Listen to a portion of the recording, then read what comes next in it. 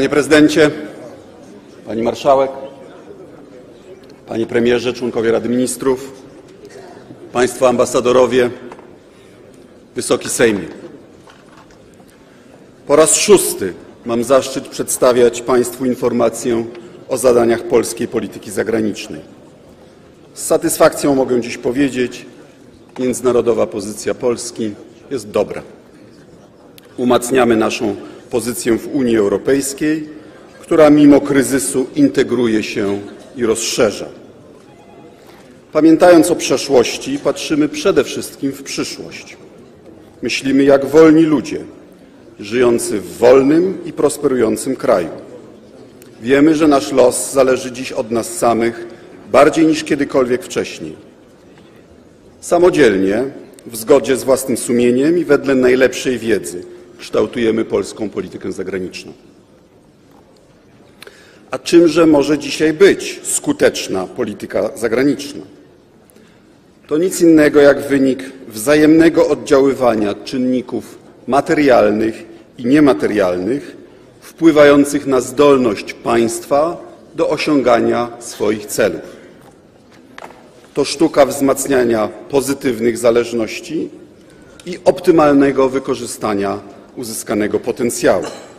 Jak mawiał francuski mąż stanu Aristide Briand, jest to sztuka łączenia pożądanego z możliwym.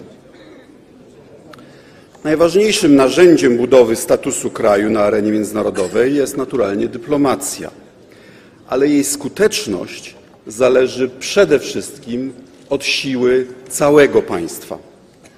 Ta zaś zmienia się w czasie i zawsze powinna być mierzona w relacji do innych podmiotów stosunków międzynarodowych. Aby właściwie ocenić geostrategiczną pozycję Polski dziś, trzeba spojrzeć na nasz kraj z perspektywy historii. Kluczowe jest określenie naszego znaczenia w przeszłości, naszego miejsca w dzisiejszej hierarchii państw oraz wykonalnych scenariuszy na przyszłość. Historia wielokrotnie stawiała nas wobec strategicznych dylematów. Nasz los zależał wówczas od poczucia odpowiedzialności przywódców państwa, od ich sumienia i zrozumienia prawideł życia politycznego oraz społecznego. Przede wszystkim od realistycznej oceny naszych zasobów. Jak bowiem powiedział kiedyś Józef Piłsudski, myśleć mogę za pięć Polsk, ale realizować tylko to, co ta jedna wykonać potrafi. Kiedy w nowożytnej Europie rodził się kapitalizm, my byliśmy na uboczu. Na zachodzie kontynentu pierwsze manufaktury powstały już w XIII wieku, a u nas dopiero u schyłku wieku XVI. W średniowieczu polski produkt krajowy brutto per capita nie odbiegał jeszcze znacząco od średniej dla najzamożniejszych państw Europy Zachodniej. W XIV i XV wieku kształtował się na poziomie około 80%. Podobnie nie odstawaliśmy jeszcze pod względem siły fiskalnej, czyli zdolności administracji do ściągania podatków, a co za tym idzie, do inwestycji publicznych. Spowolnienia oraz, oraz blokady procesów modernizacyjnych okazały się fundamentalną przyczyną polskich problemów i tragedii. Skutkowały słabszym wzrostem i zacofaniem oraz niewydolnością państwa. Wprawdzie Polacy byli jeszcze stosunkowo zamożni, ale skarb królewski świecił pustkami. Inaczej mówiąc, siła fiskalna naszego kraju nie odpowiadała wciąż dużemu potencjałowi poboru podatków. W przededniu Sejmu Wielkiego w 1788 roku polski PKB spadł do poziomu zaledwie 16% PKB brytyjskiego. Natomiast nasi sąsiedzi rośli w siłę, także militarną. Polska wprawdzie jeszcze formalnie istniała, ale nie liczyła się na arenie międzynarodowej. Obce wojska, wbrew polskiemu interesowi i nominalnej suwerenności, stacjonowały na naszym terytorium. Pod zaborami większość ziem polskich nie zaznała rewolucji przemysłowej. W konsekwencji II Rzeczpospolita nie mogła dołączyć do gospodarczej czołówki ówczesnego świata. Mimo sztandarowych inwestycji, takich jak port w Gdyni i centralny okręg przemysłowy, polska gospodarka nie rozwijała się tak dynamicznie jak sąsiednie. Przez 10 lat trwała wojna celna z Niemcami, uniemożliwiająca dwustronny handel. Aby dostrzec skalę wyzwań, wyobraźmy sobie, co by było, gdybyśmy dziś nie mogli eksportować towarów na nasz najważniejszy rynek zbytu. Polska była wyspą względnej wolności wśród konsolidujących się totalitaryzmów. Ich przywódcy mniej lub bardziej otwarcie głosili wrogość wobec naszego kraju. Jak się później okazało, nie mogliśmy liczyć na solidarność sojuszników.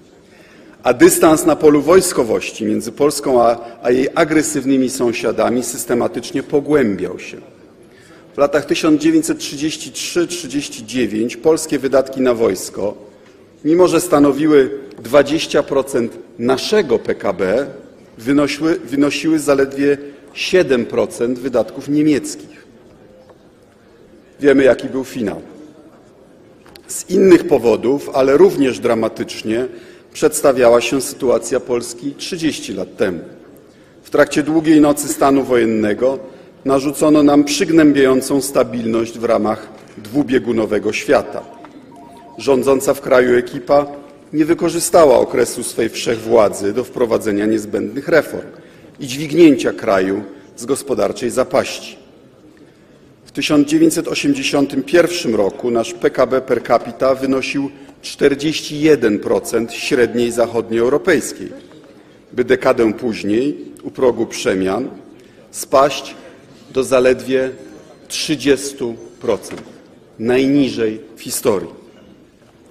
Dziś jesteśmy blisko 59%, a gdy mowa o średniej unijnej, nawet 64% w 20 lat.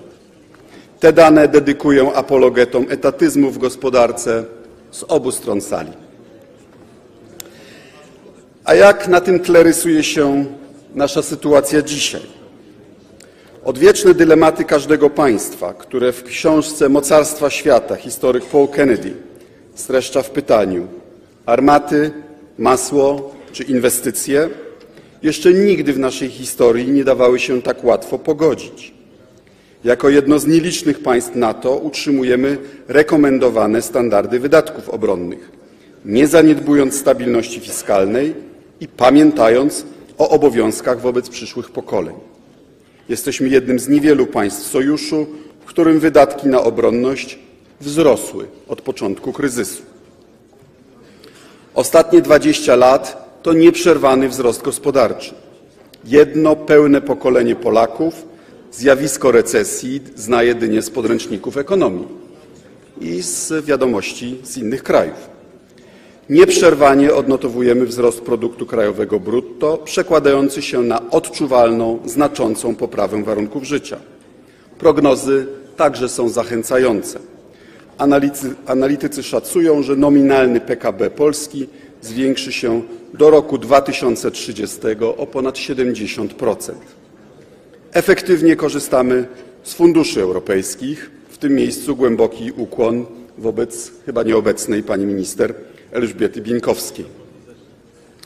Nasza pozycja w rankingach marki narodowej także się poprawia. Jak podaje jeden z raportów, Polska uplasowała się na 20 miejscu w świecie, na około, na około 200 państw członków ONZ, a wartość naszej marki wzrosła o 75%. Takie rozwiązania jak kotwica fiskalna zapisana w naszej konstytucji stanowią dziś inspirację dla innych państw. Między innymi dzięki udanej prezydencji w Unii i sprawnemu przygotowaniu Euro 2012 z szacunkiem mówi się o polskim sukcesie i dobrej organizacji. To zasługa wszystkich Polaków, którzy zbudowali wolną ojczyznę. Marzenie tylu pokoleń. Wyzwaniem natomiast pozostają niekorzystne trendy demograficzne, które hamują wzrost potencjału fiskalnego, niski poziom inwestycji prywatnych oraz spadające tempo wzrostu produktywności. Polska musi tworzyć nowe przewagi konkurencyjne, a model wzrostu oparty na zwiększeniu efektywności wzbogacić zdolnością do innowacji.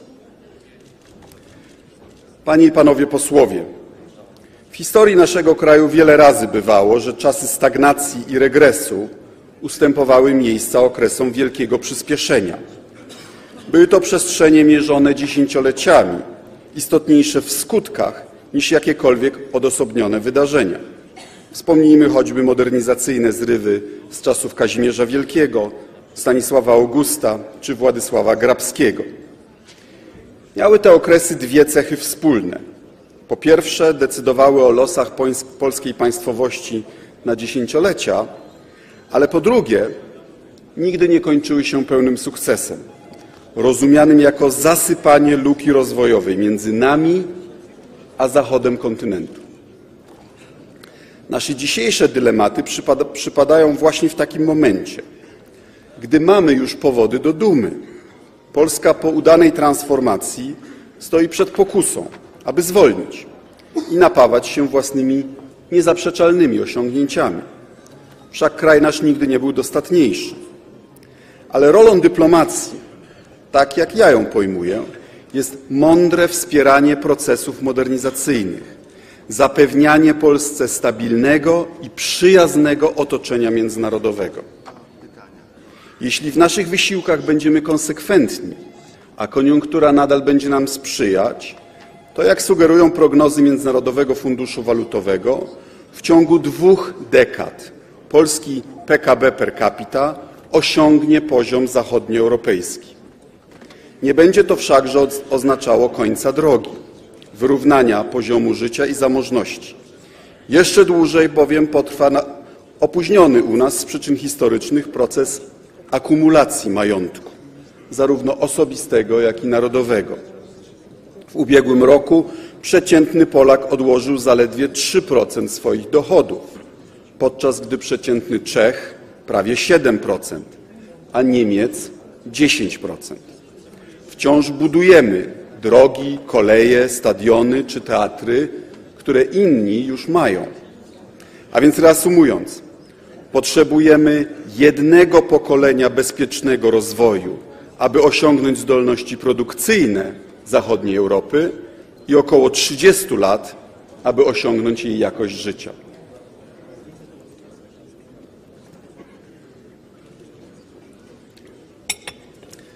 Wysoka Izbo, zdaję sprawę Wysokiej Izbie z polskiej polityki zagranicznej zaledwie kilka tygodni po decyzji Rady Europejskiej w sprawie wieloletniego budżetu Unii. Sprawie tak ważnej dla całego rządu i dla szans rozwojowych Polski na dekady, że osobistą odpowiedzialność za negocjacje przejął prezes Rady Ministrów Donald Tusk. Wynegocjowana suma 106 miliardów euro, tym prawie 73 miliardy na politykę spójności oraz blisko 29 miliardów euro na rolnictwo, to realizacja wyborczych obietnic Platformy Obywatelskiej i Polskiego Stronnictwa Ludowego. Dumny jestem, że mogę w obecności prezydenta i całego Sejmu powiedzieć: Panie premierze, słowa danego narodowi dotrzymał pan z nawiązką.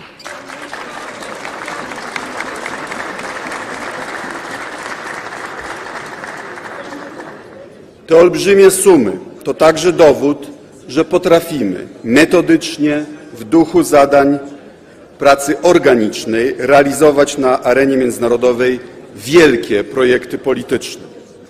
Wbrew kryzysowi szalejącemu w Europie cierpliwie pracowaliśmy na nasz sukces począwszy od uzyskania teki komisarza do spraw budżetu dla Janusza Lewandowskiego, poprzez powołanie grupy przyjaciół polityki spójności i negocjacyjny sojusz z Grupą Wyszehradzką, współpracę z Francją, aż po przekonanie Niemiec i Wielkiej Brytanii do poparcia budżetu oszczędnego, ale takiego, w którym cięcia nie spadły głównie na kraje na dorobku. Mój pierwszy zastępca, pan minister Piotr Serafin, skutecznie wspierał premiera w omijaniu RAF. W tych negocjacjach budżetowych Polska okazała się zawodnikiem długodystansowym, który potrafi inteligentnie rozłożyć siły i odnieść zwycięstwo drużynowe i indywidualne. Wysoki Sejmie, teraz, gdy batalia już wygrana, czas na refleksję. Na naszych oczach powstaje bowiem zreformowana konstrukcja europejska. Integrację napędza w coraz większym stopniu współpraca w kwestiach finansowych i bankowych.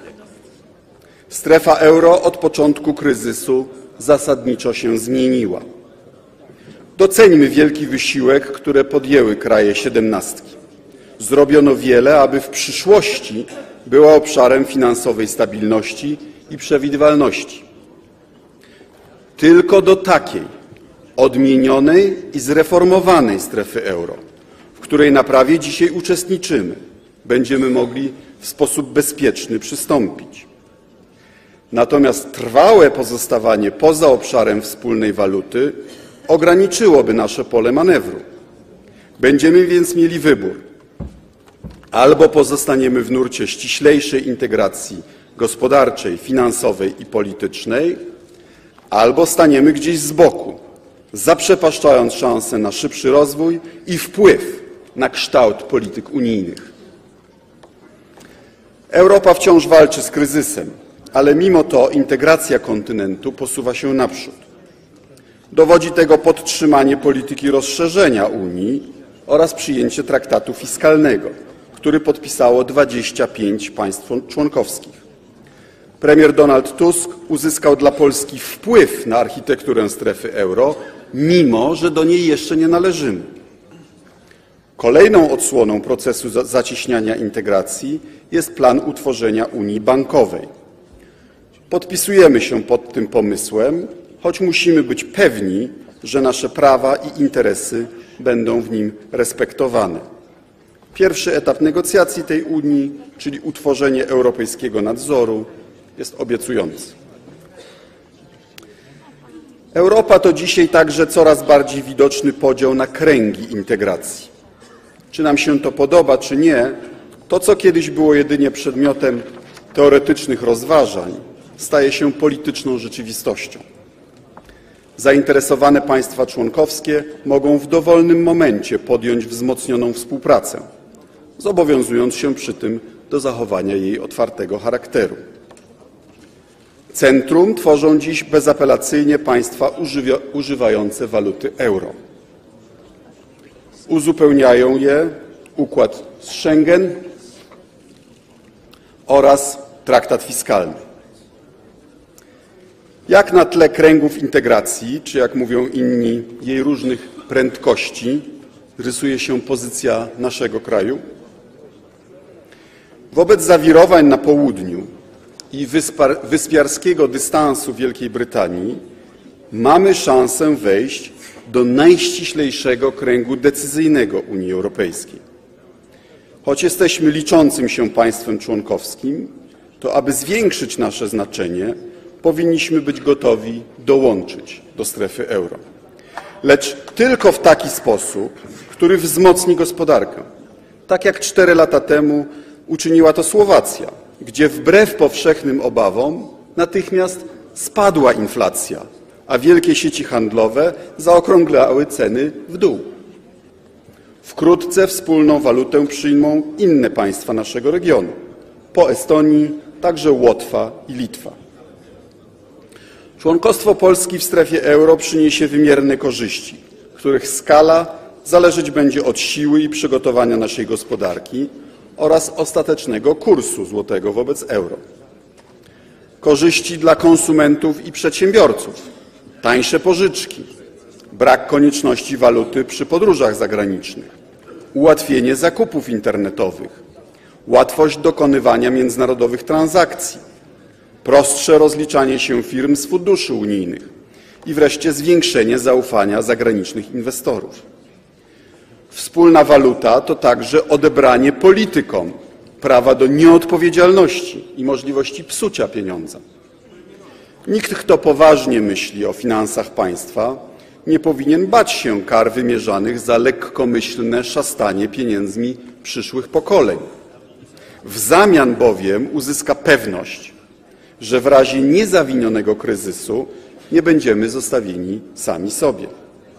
A skoro tak, to słowami Józefa Kraszewskiego, Józefa Ignacego Kraszewskiego, nieprzekonanych pytam, dlaczego boicie się zmian, choćby na lepsze? Wysoka Izbo, wobec wyłaniającej się nowej Unii Europejskiej skupionej wokół strefy euro, zadajmy sobie szczerze pytanie, jaki typ relacji z resztą Unii najlepiej będzie służył naszemu interesowi narodowemu. I nie chodzi mi o perspektywę jedynie średnioterminową, którą już tutaj zarysowałem, to znaczy kiedy i po jakim kursie przystąpić do trzeciego etapu Unii Gospodarczej i Walutowej. Czas i warunki wykonania tego kroku trzeba ostrożnie i mądrze rozeznać. Ale powiedzmy sobie to jasno. Przystąpienie do strefy euro leży w strategicznym interesie Polski. Stawką jest geopolityczne umocowanie naszego kraju na dekady, a może oby na wieki.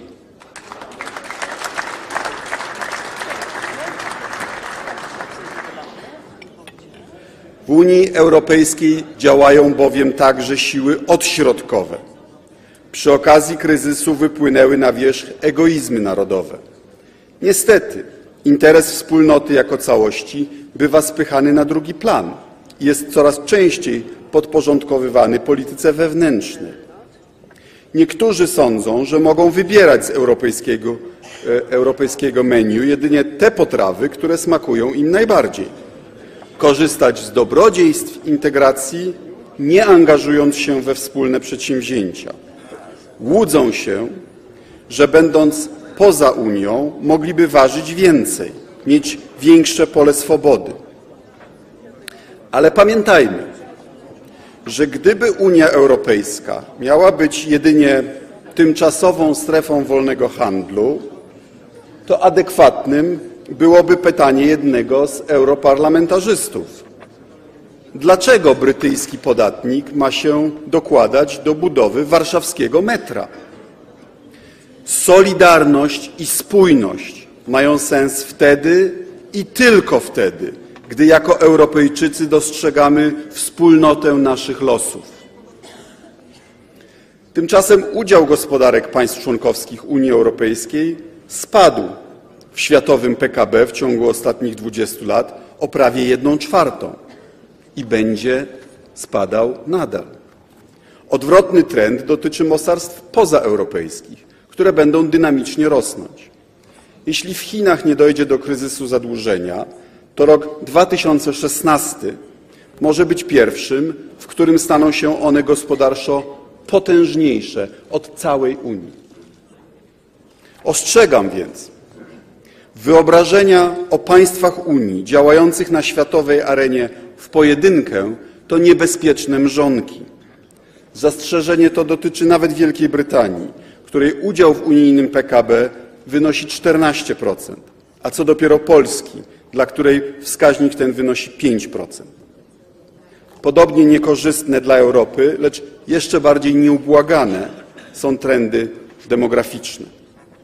O ile w 1960 roku ludność naszego kontynentu stanowiła prawie 20%, a w 2000 roku niecałe 12% populacji świata, to w roku 2040 będzie to zaledwie nieco ponad 8%.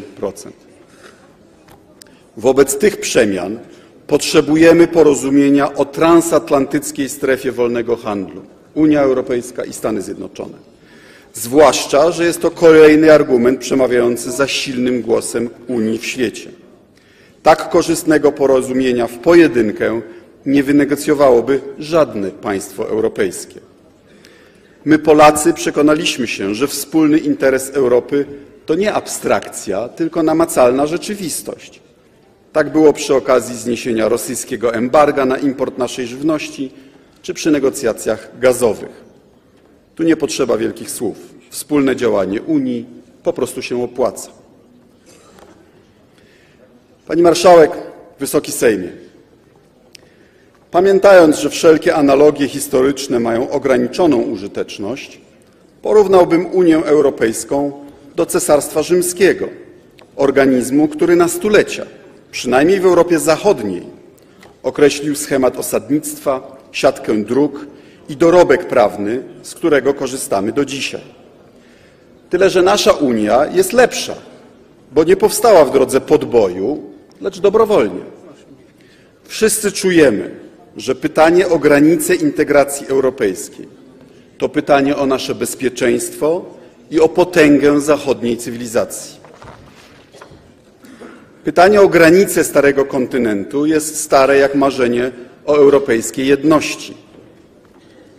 Dla niektórych Europa jest tam, gdzie stoją średniowieczne ratusze i katedry. Dla wielu na Zachodzie mentalna granica utrwalona przez pół wieku zimnej wojny przebiega nadal tam, gdzie kończą się rzymskie drogi.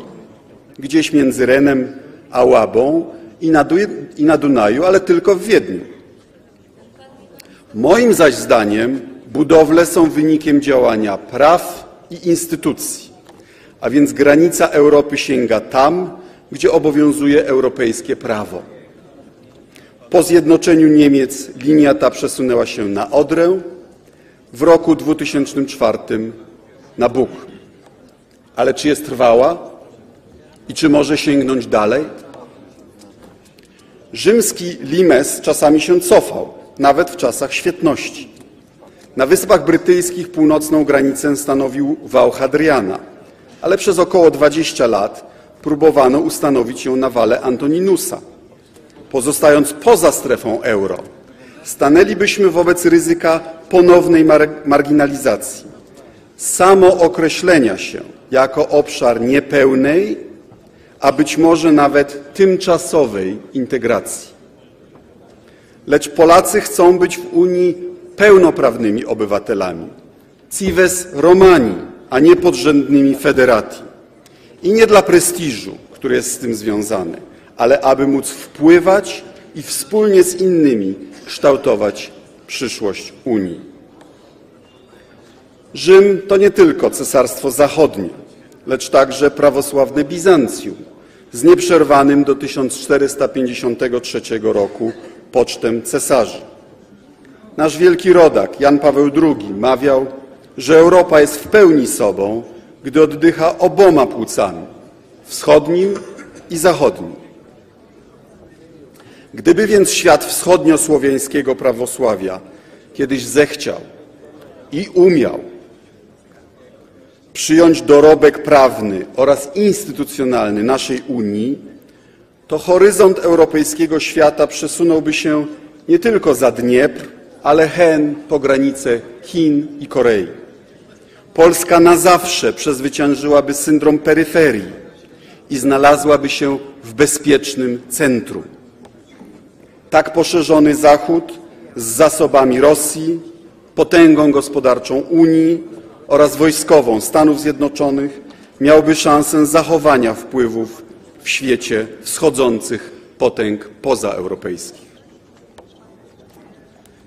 Spyta ktoś, dlaczego nie możemy iść naszą polską drogą? Dlaczego sami nie możemy stać się biegunem integracyjnym?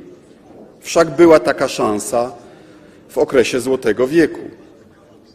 Odpowiadam, była, ale ją zaprzepaściliśmy. Dziś ani nasi wschodni sąsiedzi nie chcą państwowo integrować się z nami, ani my z nimi.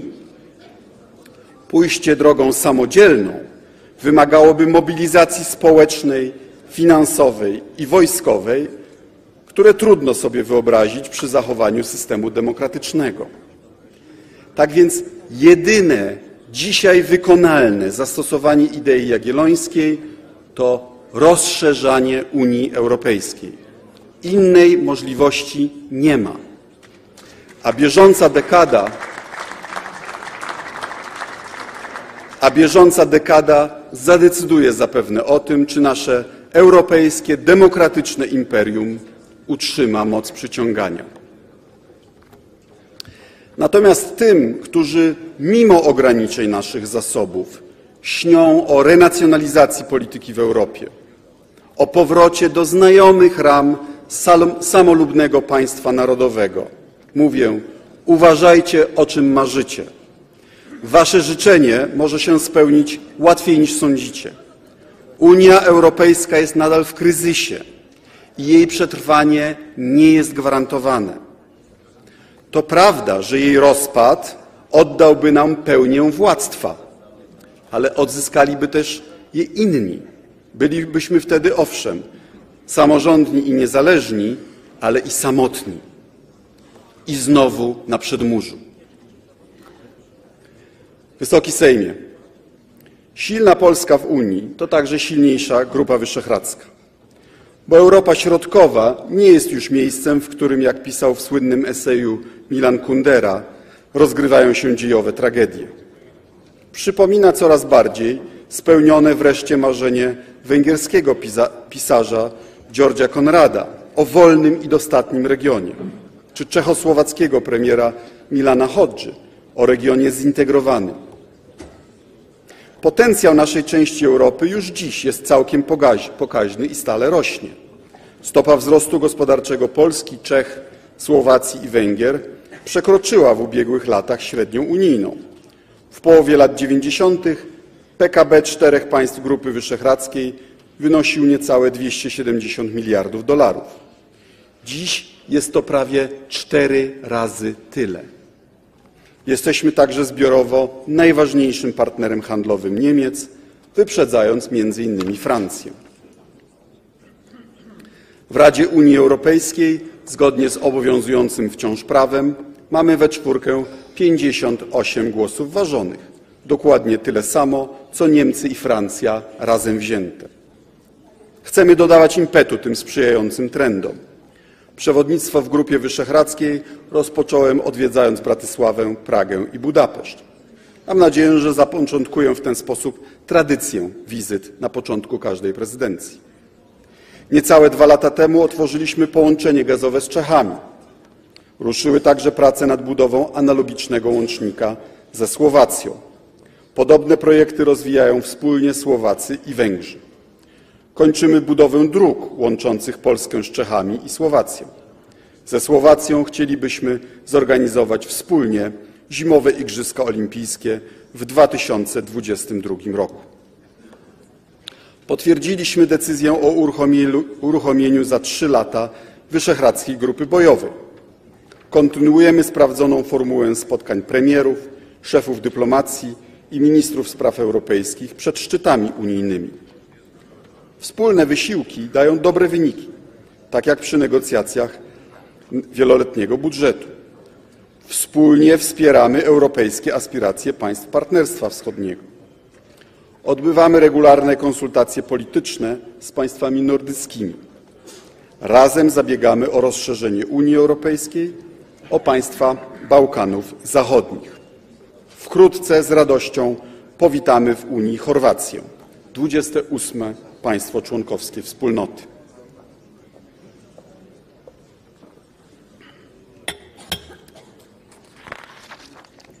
Wysoka Izbo, jak już wspomniałem, dla nas i dla Europy XXI wieku istotne będzie, jaką przynależność cywilizacyjną wybiorą narody wschodniej części kontynentu.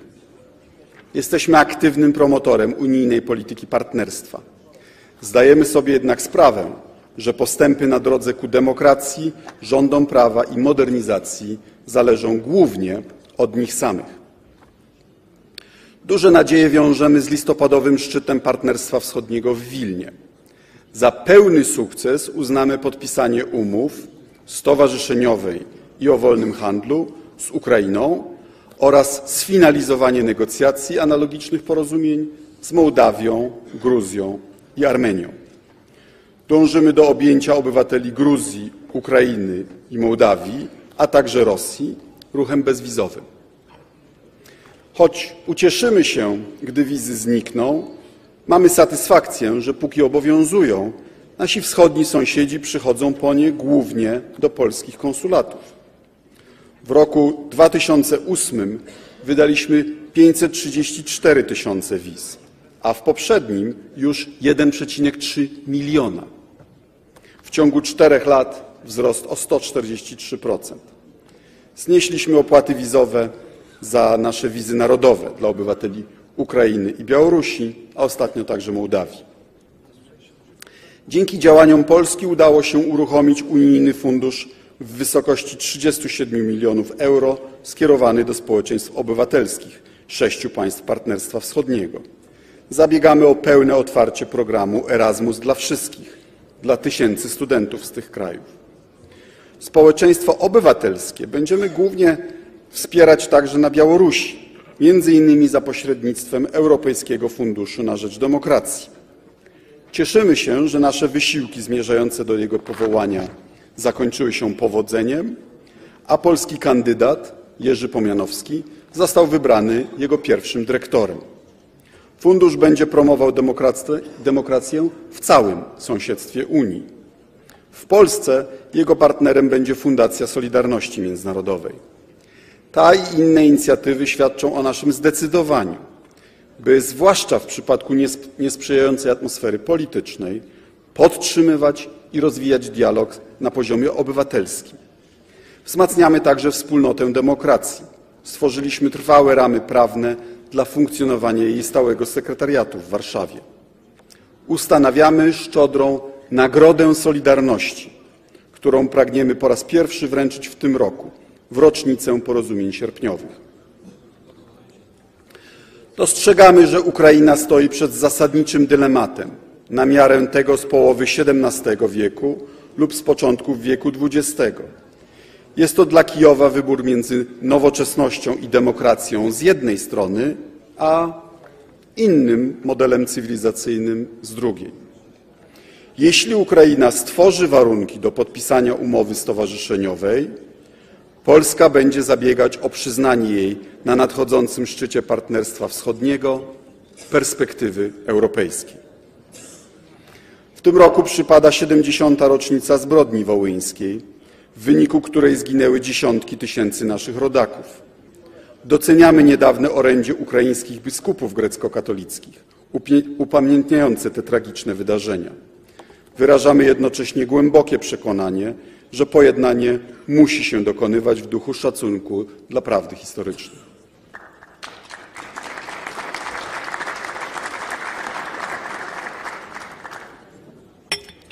Dynamicznie rosną dwustronne obroty handlowe z Rosją. W ubiegłym roku o ponad 10%, wynosząc blisko 38 miliardów dolarów.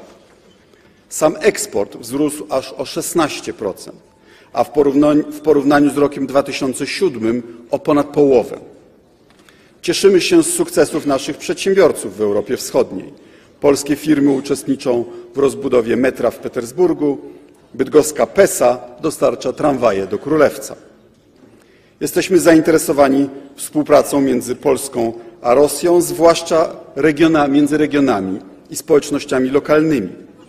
Problematykę tę kompetentnie nadzoruje Polsko-Rosyjskie Forum Regionów. Zarówno w Polsce, jak i w Rosji powołaliśmy centra dialogu i porozumienia, które zajmują się trudnymi tematami. Otwarta w 68. rocznicę wyzwolenia obozów Auschwitz rosyjska wystawa narodowa pokazuje, że jesteśmy w stanie mówić jednym głosem w ważnych i trudnych sprawach historycznych. Wierzymy, że ubiegłoroczna wizyta patriarchy Cyryla I w naszym kraju oraz wspólne przesłanie polskiego Kościoła katolickiego i rosyjskiej cerkwi, cerkwi prawosławnej przyczynią się do pojednania między naszymi narodami. Widzimy, że zdaje egzamin umowa o małym ruchu granicznym, która pozwala mieszkańcom północnej Polski i obwodu królewieckiego poznać się nawzajem. Większa otwartość granic to także wymierne korzyści gospodarcze. Dzięki między innymi wspomnianej umowie z Rosją oraz podobnemu porozumieniu z Ukrainą wydatki cudzoziemców przekraczających granicę Polski na wschodzie i północy wyniosły w zeszłym roku aż 6,6 miliarda złotych. Wzrost o ponad 1 czwartą w porównaniu do roku poprzedniego.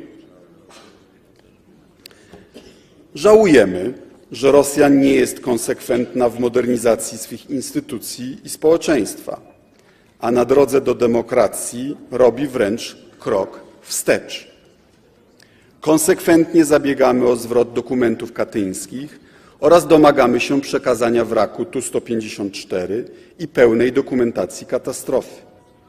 Będziemy nadal wspierać polską prokuraturę w jej staraniach o wyegzekwowanie pomocy prawnej w tej sprawie.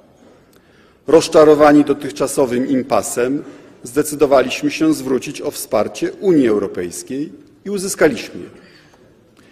Natomiast tym, którzy całą naszą politykę zagraniczną chcieliby sprowadzić do sprawy wraku, pragnę powiedzieć: gdy jakieś państwo nie wypełnia zobowiązań międzynarodowych wobec nas, tak jak w tym wypadku, to po patriotach spodziewałbym się solidarności z rządem i kierowania pretensji pod właściwy adres.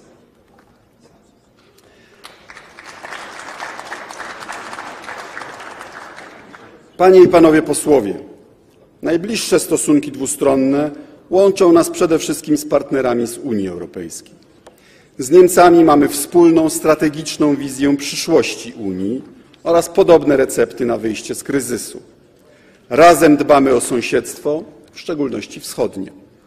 Jednocześnie niezmiennie przypominamy naszym partnerom, że nawet państwo o tak dużym potencjale jak RFN nie może na forum Unii działać w pojedynkę. Z potencjałem powinno się wiązać poczucie szczególnej odpowiedzialności za losy Europy. Miniony rok miał doniosłe znaczenie dla stosunków polsko-francuskich. Wybór nowych władz dał podstawy do politycznego zbliżenia. Nowe otwarcie widać przede wszystkim na forum unijnym, gdzie walczyliśmy o utrzymanie ambitnej wspólnej polityki rolnej i prorozwojowej polityki spójności.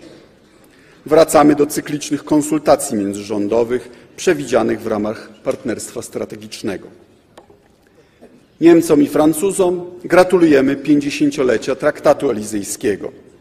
Pamiętamy, że ponad 20 lat temu był on inspiracją dla pojednania polsko-niemieckiego. Z obu państwami łączy nas współpraca w ramach trójkąta weimarskiego, a sam trójkąt staje się coraz bardziej równoramienny. Niedawny szczyt wyszehradzko-weimarski w Warszawie był ambitną figurą z zakresu geometrii politycznej.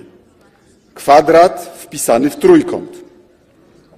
Krytykom naszej polityki mówię, im ściślejsze nasze związki z Francją i Niemcami, tym silniejsza Polska w regionie.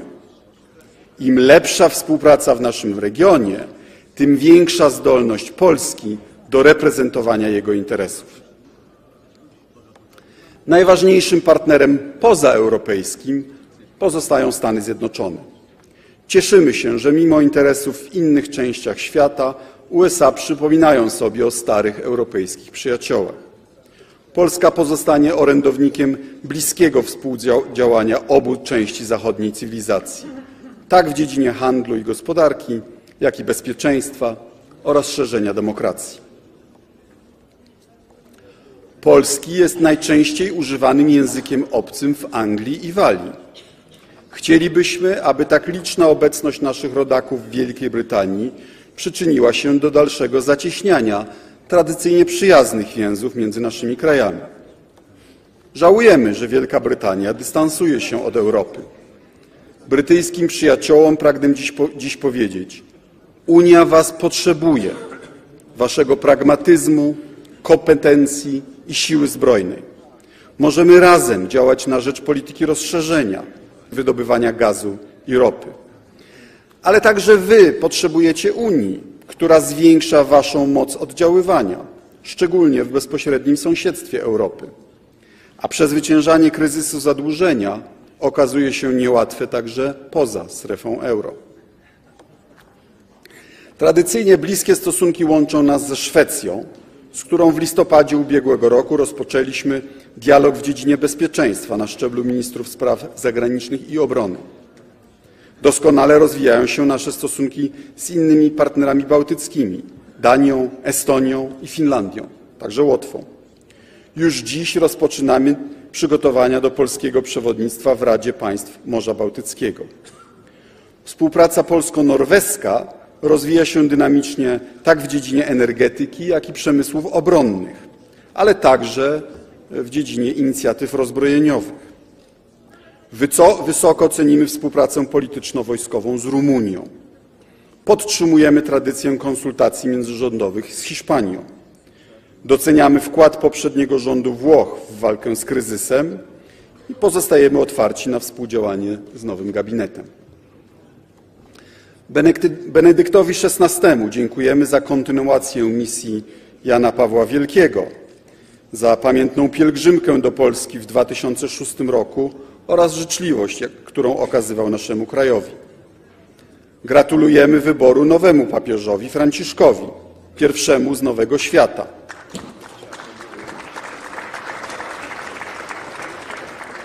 Liczymy na dalszą owocną współpracę ze Stolicą Apostolską, także w kwestii ochrony praw chrześcijan na świecie. W tym roku obchodzimy 150. rocznicę Powstania Styczniowego. Litewska pogoń na powstańczych sztandarach. W dyskusji o przyszłości Unii nie zapominamy o państwach, które mają prawo być częścią europejskiej rodziny. Polskie wsparcie dla polityki rozszerzania Unii to nie tylko polityczne deklaracje, ale także konkretna pomoc, szczególnie dla państw Bałkanów Zachodnich. Ważne są dla nas relacje z Turcją, naszym sojusznikiem w NATO, jedną z najbardziej dynamicznych gospodarek na świecie. Przygotowujemy się do obchodów wyjątkowej 600. rocznicy nawiązania z państwem tureckim stosunków dyplomatycznych. A skoro o południowym wschodzie kontynentu mowa, cieszymy się, że wskaźniki ekonomiczne zdają się sugerować koniec dotkliwego stadium kryzysu w kolebce demokracji w Grecji. Wysoka Izbo, coraz istotniejszym elementem prowadzenia naszej polityki staje się dyplomacja publiczna. To główny instrument tak zwanej miękkiej siły, która w dzisiejszym świecie, y, której używa się częściej i czasami skuteczniej niż siły twardej, militarnej. Z naszym przekazem chcemy docierać do szerokiej grupy odbiorców. Przybliżamy światu naszą historię i naszych bohaterów. W siedzibie, w siedzibie Organizacji Narodów Zjednoczonych w Nowym Jorku w Dniu Pamięci o Holokauście otwarta została wystawa poświęcona Janowi Karskiemu. Polska pozostaje rzecznikiem prawdy historycznej. Tam, gdzie spotykamy się z próbami, z próbami fałszowania naszej historii, stanowczo i skutecznie reagujemy. Polskie doświadczenia pokojowej transformacji to główny motyw naszej pomocy rozwojowej. Najbardziej użyteczne wydają się być one na postsowieckim wschodzie. Ale na specjalistyczne szkolenia zapraszamy także urzędników z państw, które są w trakcie lub dopiero u progu zmian. Z takich krajów jak Afganistan, Egipt, Libia, Mianma czy Tunezja. We współpracy z Ministerstwem Nauki i Szkolnictwa Wyższego utworzymy w tym roku nowy program stypendialny imienia Stefana Banacha dla najlepszych studentów z obszaru Partnerstwa Wschodniego. Zabiegamy o niestałe członkostwo w Radzie Bezpieczeństwa Narodów Zjednoczonych na lata 2018-2019. Szóste w historii i pierwsze od ponad 20 lat. W tym roku Polska przewodniczy Radzie Praw Człowieka ONZ w Genewie. Powierzenie nam tej funkcji odbieramy jako wyraz uznania za nasze dotychczasowe zaangażowanie. W świecie arabskim nadal będziemy kłaść nacisk na wspieranie demokratyzacji, zarówno dwustronnie, jak i w, ramach południowego wymiaru europejskiej polityki sąsiedztwa. Dziesiąta rocznica rozpoczęcia interwencji w Iraku przypomina nam, nam o zagrożeniach, jakie niesie ekstremizm. Z ogromną troską i współczuciem obserwujemy sytuację ludności cywilnej w Syrii. Przestrzegamy rząd w Damaszku przed użyciem broni chemicznej w trwającym już blisko dwa lata konflikcie. Jako członka Komisji Państw Neutralnych nadzorujących rozejm na Półwyspie Koreańskim niepokoi nas kolejna północno-koreańska próba nuklearna. Dostrzegamy ogromny, choć nadal nie w pełni wykorzystany potencjał Afryki. Uczestniczymy w realizacji wspólnej europejskiej polityki, w tym rozwojowej, wobec państw afrykańskich. Razem z innymi resortami aktywizujemy kontakty międzyrządowe z najważniejszymi krajami Afryki subsaharyjskiej, Republiką Południowej Afryki i Nigerią. Odnotowujemy rosnące znaczenie Azji, kontynentu, który już dziś wytwarza ponad 1 trzecią światowego PKB. Dostrzegając ten potencjał, zwiększamy w Azji naszą obecność dyplomatyczną. Otworzyliśmy Instytuty Polskie w Tokio i w New Delhi, a wkrótce w Pekinie. Rozbudowujemy sieć konsulatów honorowych. Z Chinami łączy nas partnerstwo strategiczne potwierdzone ubiegłorocznym szczytem w Warszawie, w którym uczestniczyli również przywódcy państw naszego regionu. Uważamy państwo środka za mocarstwo ponadregionalne, które pomimo, powinno coraz aktywniej angażować się w rozwiązywanie problemów w skali globalnej. Służymy swoimi doświadczeniami, gdyby Chiny zdecydowały się kiedyś spluralizować swój system polityczny. Kontynuować będziemy dobrą współpracę z Japonią, forpocztą demokracji w strefie Pacyfiku. Polskie firmy konsekwentnie wzmacniają swoją pozycję na zagranicznych, w szczególności pozaeuropejskich rynkach. W ubiegłym roku nasz eksport wzrósł o prawie 4%, z czego najbardziej przyspieszyła sprzedaż do krajów Ameryki Łacińskiej o 17,6%, do Afryki o ponad 16% i Azji ponad 12%. Polski eksport nareszcie uzyskuje profil globalny. To rosnące zainteresowanie wymaga wzmacniania stosunków z odległymi i słabiej rozpoznanymi rynkami. Wspieramy polskich przedsiębiorców, koncentrując się na rozbudowie nowoczesnej bazy traktatowej. Niezmiennie uznajemy rolę Ministerstwa Gospodarki w promocji gospodarczej i postulujemy przyjęcie odpowiedniej ustawy. Utrzymujemy regularne kontakty z kilkoma setkami polskich firm z sektorów energetyki, obrony, transportu, przetwórstwa spożywczego i przemysłu innowacyjnego. Przystąpiliśmy do Europejskiej Agencji Kosmicznej. Przedsiębiorcy towarzyszą przedstawicielom MSZ w pozaeuropejskich wizytach zagranicznych. W ubiegłym roku były to wyjazdy do Arabii Saudyjskiej, Mianmy, Brazylii, Chile, Chin, Kolumbii i Meksyku. A w tym roku będzie to Australia, Indie, Mongolia i Nowa Zelandia. Z uwagą obserwujemy zmiany na rynku energetycznym w USA, które pociągną za sobą konsekwencje geopolityczne. Stany Zjednoczone będą do roku 2020 eksporterem netto gazu. Europejska gospodarka może na tym skorzystać. W ciągu najbliższej dekady otworzy się bowiem nowy rynek handlu energią, pozwalający na dywersyfikację importu surowców, z czego będziemy mogli korzystać dzięki oddaniu do tego czasu użytku naszego terminala LNG. Mamy ponadto podstawy do współpracy w obszarze poszukiwania alternatywnych źródeł energii i rozwoju nowatorskich technologii. Intensywny dialog w tych kwestiach prowadzimy z Kanadą. Priorytetem pozostanie pełne wykorzystanie naszych własnych, narodowych zasobów energetycznych, w tym, ale nie tylko, złóż gazu łupkowego. Panie i Panowie posłowie, historia uczy, że Polska o bezpieczeństwo, także w wymiarze wojskowym, zadbać musi przede wszystkim sama, że zależy ono w największym stopniu od naszego własnego potencjału obronnego. Jak pisał Jan Nowak-Jeziorański, nie można opierać bezpieczeństwa tylko na sojusznikach, nawet najpotężniejszych, jeśli własnymi siłami nie zapewnimy sprzymierzeńcom możliwości przyjścia nam z pomocą. Poczucie bezpieczeństwa nie może stać się mitem, który rozbroi nas psychicznie i zrodzi lenistwo myśli wojskowej. Modernizacja sił zbrojnych to więc priorytet na najbliższą dekadę. W ciągu tej dekady wydamy na nią poważną sumę prawie 140 miliardów złotych.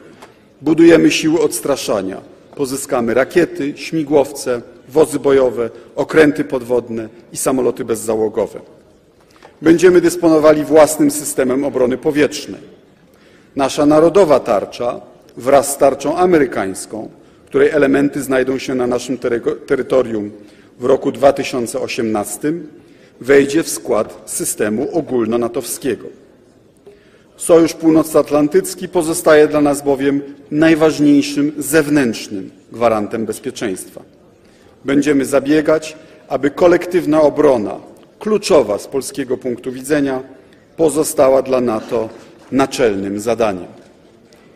Jesienią po raz pierwszy na naszym terytorium odbędą się manewry wojskowe sojuszu pod kryptonimem Steadfast Jazz. Cieszymy się ze znacznego wkładu, jaki zadeklarowali nasi natowscy partnerzy, przede wszystkim Francja i Stany Zjednoczone. Zgodnie z wcześniejszymi ustaleniami od kilku miesięcy gościmy w Polsce pododdział amerykańskich sił powietrznych, który obsługuje rotacyjną obecność samolotów bojowych F-16 i transportowych C-130. Z Amerykanami współpracujemy także w Afganistanie. Operacja NATO w tym kraju wkracza w końcową fazę. Polski kontyngent, obecnie liczący 1000, 1800 żołnierzy, zmniejszymy w październiku do 1000. Do końca przyszłego roku, zgodnie z zapowiedziami, razem z sojusznikami zakończymy misję stabilizacyjną ISAF. Jesteśmy dumni, że naród afgański wysoko ceni zaangażowanie i poświęcenie polskich żołnierzy oraz dyplomatów. Silna Unia Europejska, którą budujemy, to także rozwój europejskich zdolności obronnych. Pod koniec tego roku Rada Europejska podejmie decyzję w sprawie dalszych kierunków rozwoju wspólnej polityki bezpieczeństwa i obrony. Będziemy konsekwentnie opowiadać się za jej wzmacnianiem, choć nie mamy złudzeń, aby mogła w tej dekadzie zastąpić NATO. Uczestniczymy w unijnych grupach bojowych i nie wykluczamy ich użycia. Nasze siły są obecne w Kosowie, Bośni i Hercegowinie oraz w Gruzji. Bierzemy udział w unijnej misji szkoleniowej w Mali, wspierając sojuszników w walce z terroryzmem na Sahelu. Silna Unia Europejska, Europejska to także taka, która posiada sprawną i skuteczną dyplomację. Wspieramy wysiłki Catherine Ashton i Europejskiej Służby Działań Zewnętrznych, szczególnie w trudnych rozmowach z Iranem.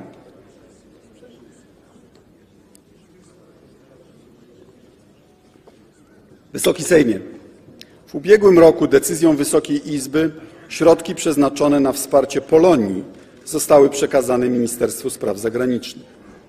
Bieżący rok jest pierwszym pełnym rokiem obowiązywania nowych zasad. W ramach rozstrzygniętych niedawno konkursów przeznaczymy na współpracę z rodakami ponad 50 milionów złotych, choć wnioski złożono na sumę 224 milionów. Rozumiem rozczarowanie tych, których zgłoszenia nie uzyskały aprobaty. Zapraszam do składania wniosków w przyszłym roku. Szczególnie mile widziane będą projekty, które wzmocnią współpracę gospodarczą Polonii z krajem oraz te, które zachęcą Polaków z diaspory do powrotu. Zaproponujemy także nowe formy emisji telewizji i radia dla zagranicy, zarówno po polsku, jak i w językach obcych. Zmieniamy filozofię polityki polonijnej. Chcemy, aby rodacy mieszkający za granicą stali się wpływowym podmiotem polskiej polityki zagranicznej i swoją aktywnością wzmacniali wizerunek, pozycję i interesy gospodarcze i polityczne Polski. Pamiętamy o naszych obowiązkach wobec rodaków na wschodzie, a zarówno na zachodzie, jak i na wschodzie nie pytamy jedynie, co Polska może zrobić dla Polonii, ale głównie, co Polonia może zrobić dla Polski. Wysoka Izbo, kontynuujemy proces modernizacji polskiej służby zagranicznej. Wprowadzamy nowe formy obecności dyplomatycznej Polski, takie jak wspólne z państwami trzecimi siedziby, trzecimi, trzecimi siedziby placówek, czy powoływanie ambasadorów wizytujących, na przykład na Malcie. Te rozwiązania zapewniają obecność polskiej służby zagranicznej w nowych miejscach przy znacznie niższych nakładach finansowych. Towarzyszy temu racjonalizacja sieci, sieci zagranicznych przedstawicielstw Polski. Zwiększamy naszą obecność w tych regionach, w których mamy istotne interesy, zwłaszcza gospodarcze. Dlatego na przykład przenosimy konsulat z Vancouver do Edmonton, kanadyjskiej stolicy przemysłu wydobywczego. Rozstrzygnęliśmy międzynarodowy konkurs na nową ambasadę w Berlinie. Teraz trwają prace przygotowawcze.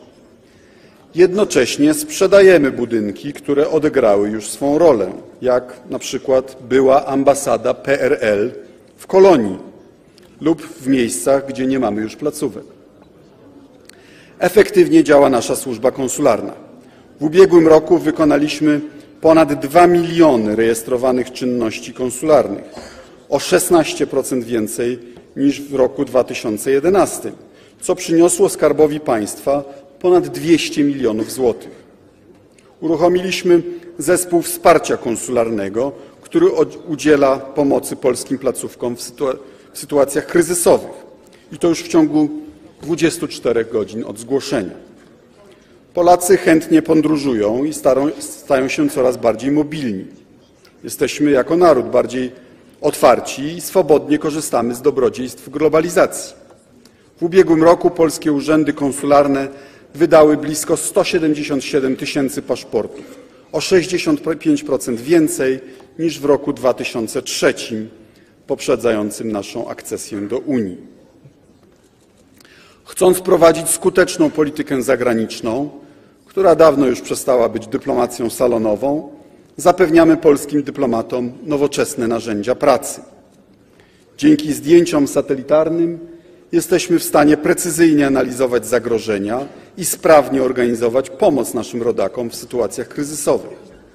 Uruchomiliśmy przejrzysty portal internetowy zintegrowany z witrynami placówek. Jedno z najbardziej ambitnych przedsięwzięć w historii polskiego internetu. Wdrażamy system elektronicznego obiegu dokumentów, najnowocześniejszy w polskiej administracji rządowej. Dążąc do polepszenia bezpieczeństwa ludzi i mienia oraz ochrony informacji, utworzyliśmy Inspektorat Służby Zagranicznej. Pracujemy także nad wprowadzeniem kategorii tajemnicy dyplomatycznej, która obejmowałaby informacje jawne o charakterze wrażliwym. Trwa przegląd funkcjonowania Europejskiej Służby Działań Zewnętrznych. Liczymy na zapewnienie równowagi geograficznej wśród personelu służby. Chcemy także, aby w większym stopniu angażowała się w zadania stricte dyplomatyczne. Z satysfakcją stwierdzam stale zwiększającą się liczbę polskich dyplomatów w ESDZ. W unijnej dyplomacji zatrudnionych jest na stanowiskach merytorycznych 66 Polaków, w tym 48 w Brukseli i 18 w delegaturach. Nasz rodak Maciej Popowski jest zastępcą sekretarza generalnego służby, a w ubiegłym roku grono unijnych ambasadorów powiększyło się o kolejnych dwóch Polaków: Jana Tombińskiego na Ukrainie oraz Adama Kułacha w Arabii Saudyjskiej. Co siódma nominacja przypadła naszym dyplomatom. Polacy obejmują odpowiedzialne stanowiska także w NATO. Szefują biurom sojuszu na Ukrainie i w Rosji. Jeden z naszych rodaków wkrótce obejmie funkcję szefa Komitetu Budżetowego Sojuszu Północnoatlantyckiego. Ściśle współpracujemy także z polskimi instytutami badawczymi i analitycznymi, które są coraz lepiej rozpoznawalne w Europie i na świecie. Wysokie noty zbierają Polski Instytut Spraw Międzynarodowych oraz Ośrodek Studiów Wschodnich. Naszą politykę konsultujemy z władzami lokalnymi i organizacjami pozarządowymi. We wszystkich województwach powstają regionalne ośrodki debaty międzynarodowej, dzięki którym potrzeby samorządów znajdują odzwierciedlenie w priorytetach polityki zagranicznej państwa.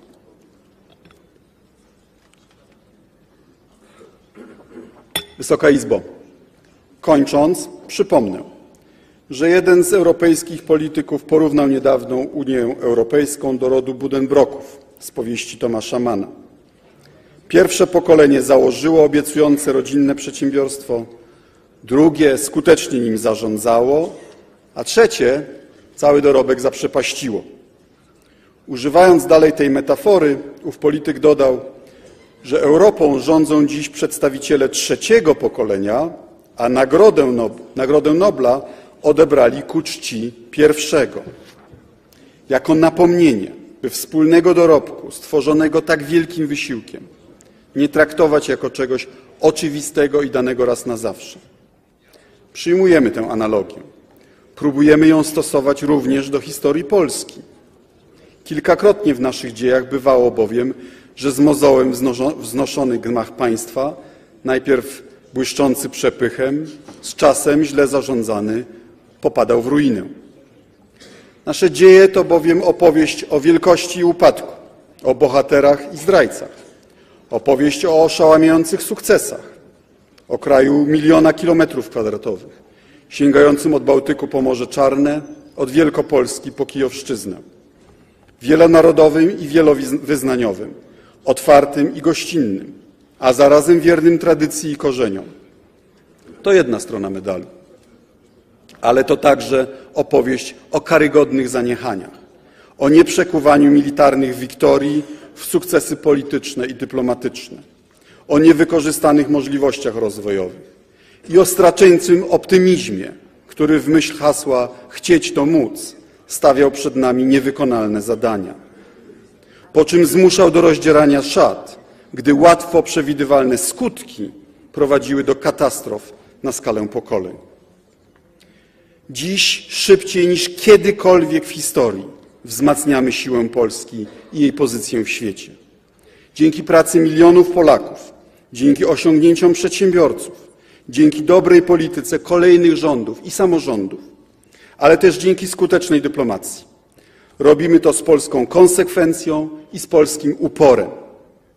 Wchodząc do Unii, dokonaliśmy wyboru dziejowego. Jeśli nie chcemy powtórzyć grzechu zaniechania naszych przodków, musimy być konsekwentni i wchodzić do najściślejszych kręgów decyzyjnych. Prowadzić politykę zagraniczną tak, jak Donald Tusk poprowadził unijne negocjacje budżetowe. Dzięki odniesionemu w nich sukcesowi dziś mamy środki na dokonanie cywilizacyjnego skoku. Nie zaprzepaśćmy tej historycznej szansy. Pani Marszałek, Wysoka Izbo, proszę o przyjęcie tej informacji. Dziękuję za uwagę.